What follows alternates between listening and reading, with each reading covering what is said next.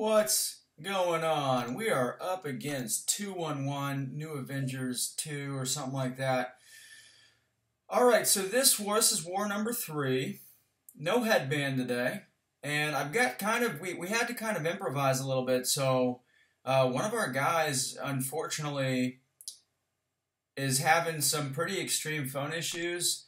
And it, it caused a death in section one. Like super laggy and um, so we so I ended up taking his uh, scheduled fights after his first fight, and then he took the lane that I was I had scheduled for myself, uh, which was just two fights in section two, both Quake fights and both for the most part I think really easy ones. Um, so. Uh, switching up the team. So anyway, we have got this domino on masochism now this node, Apocalypse just absolutely destroys this node. Um, and we've already got a White Mags pre-fight on here. Apocalypse is metal, so I'm going to benefit from that. So I'm going to have passive parry stuns. I go to check my masters, and I'm like, you know what? I'm going to keep the suicides off for now. I was thinking maybe I would throw on the suicides, or the just the bleed suicide to give myself some extra attack, because the next fight that I'm taking is a Quake fight where I where I definitely want that extra attack. But I thought, you know, maybe I'll just give myself bleed immunity in the process. But with Apocalypse, it's really it, it's just totally unnecessary and, and honestly it's probably a little bit detrimental because you want to be throwing his specials to get that burst damage.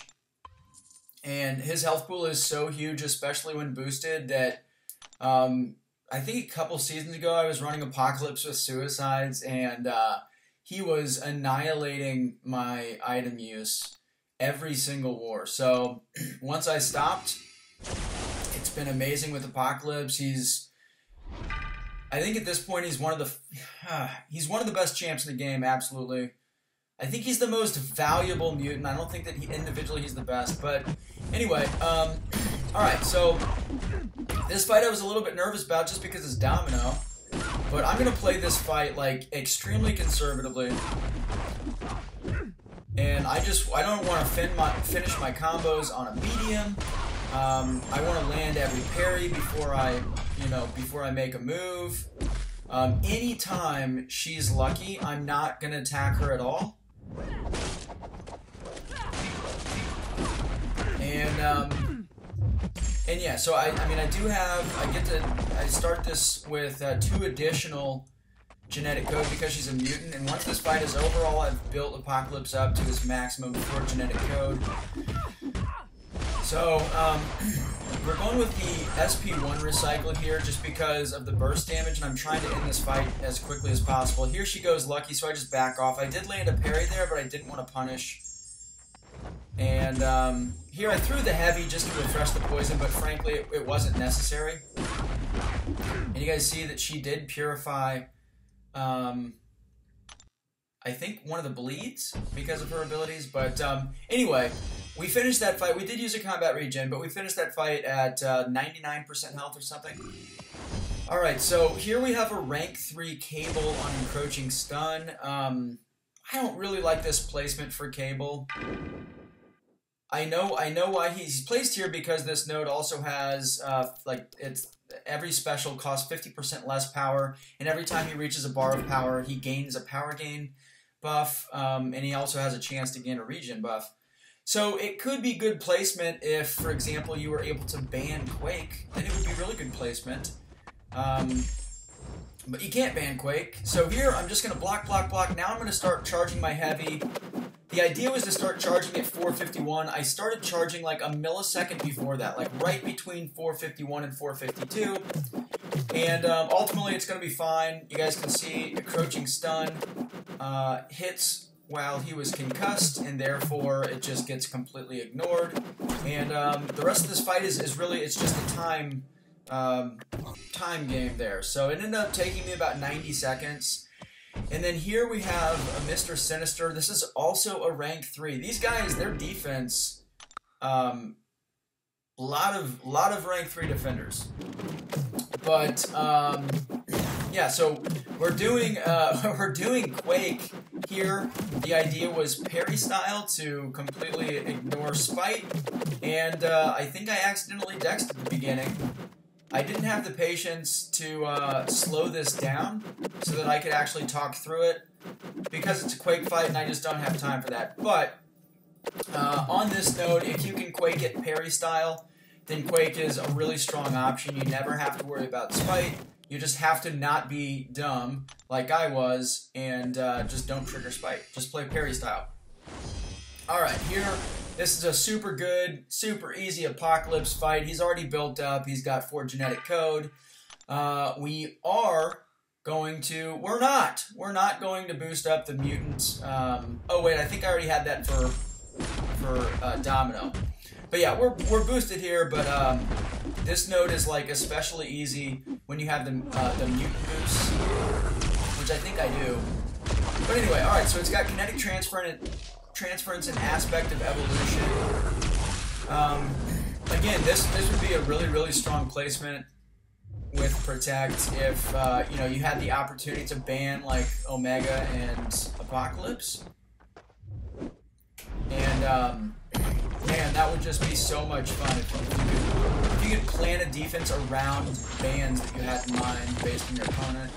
That would be so awesome. But anyway, all right, so. Um, we get all that power back because of our SP2. We are going to trigger protect on our SP2s, as you guys can see there, but once I knock him down, that just goes away. So ultimately, it's not a big deal. It's just going to uh, kind of stunt our our damage on, uh, you know, on the last portion there. But uh, SP1 finishes him off. And, you know, I only lost about 15% health in that fight. Not bad. Just from block damage. Okay, so the next two fights are uh, two fights that um, I really did not want to take, but I I had to take them because um, because again of the phone issues, and um, yeah. So our our best Quaker, yeah. I mean, you guys know. I don't know why I'm like dancing around this, but uh, so Bryn is, I, I mean, think he's without question the best player in, in 4LOKI and he's definitely the best Quaker in 4LOKI. He's a, a, godly Quaker. It's it's incredible what he does. But uh, he's been having phone issues, unfortunately. Um, a lot of you guys have been asking in the comment section too about um, about Bryn's channel.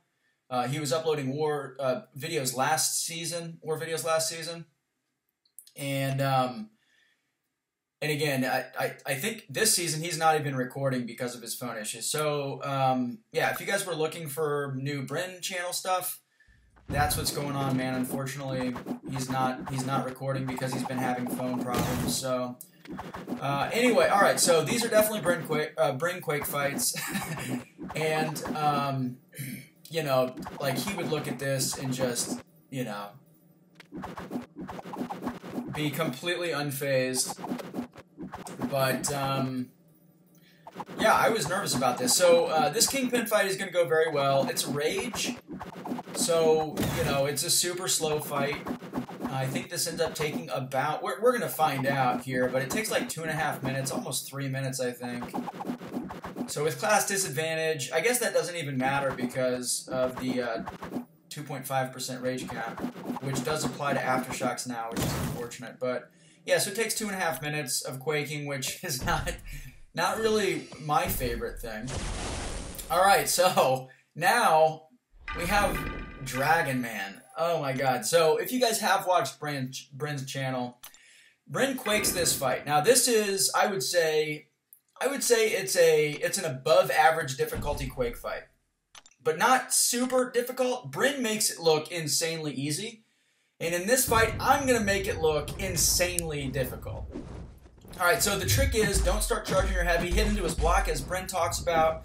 Start get his, get some space, start charging heavy right before he gets a par of power, and then let off your heavy, bait him, and then once um, once you're able to bait him, the idea is that your aftershock will align with his power charge buff returning, and there it is. It returned. Now, when Bryn does it, it goes a lot smoother.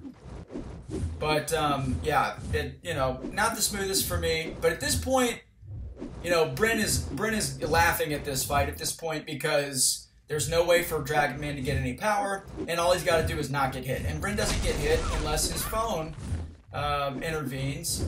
I am not Bryn, however, so there I get bopped. I accidentally let off a heavy, and I'm cornered here. So any damage that I take from him at this point, there's going to be a lot of extra burst damage dealt to me. I don't think that I would survive a full combo if I were to screw up again. So I can't screw up again.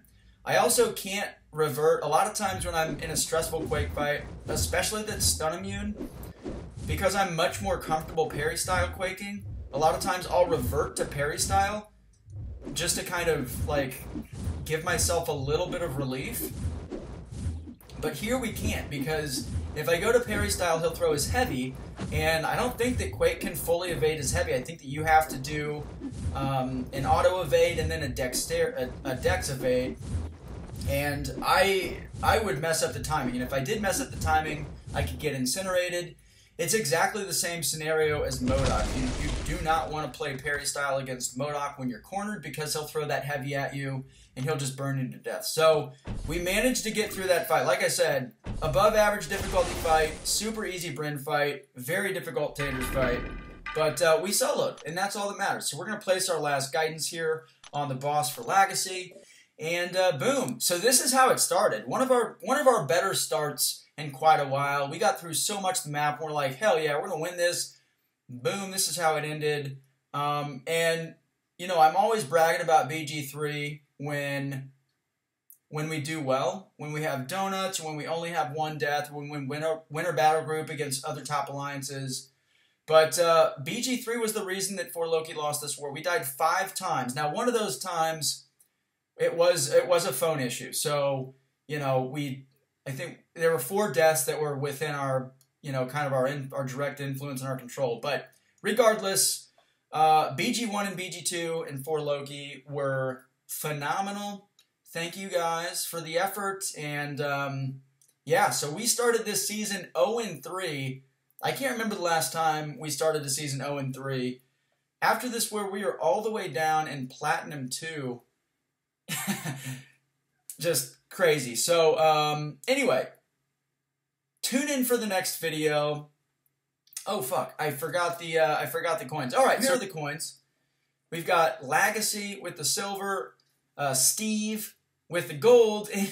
Look at that, Taters with the platinum. Now, these power ratings numbers for a single war are very very low, and uh, in this war, the fight distribution was really, really even. That's why these numbers are so low.